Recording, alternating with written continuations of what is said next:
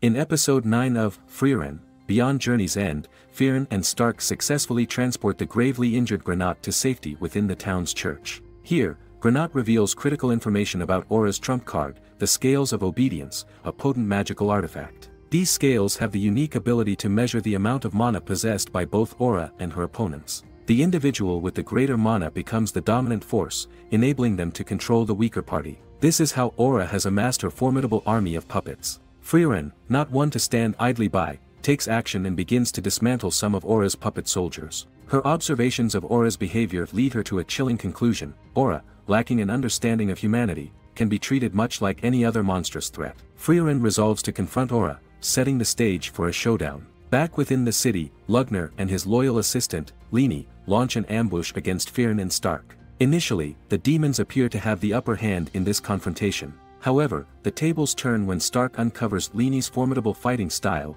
which she had previously copied by observing Eisen during a battle. Stark strategically accepts a blow from Linie's axe, creating an opening to land a decisive and deadly counterattack. Simultaneously, Fern exploits her unique strength, her swiftness in casting spells, allows her to steadily wear down Lugner's defenses, ultimately delivering a fatal blow and securing their victory. And that's it for this episode, stay tuned for more. Thanks for watching.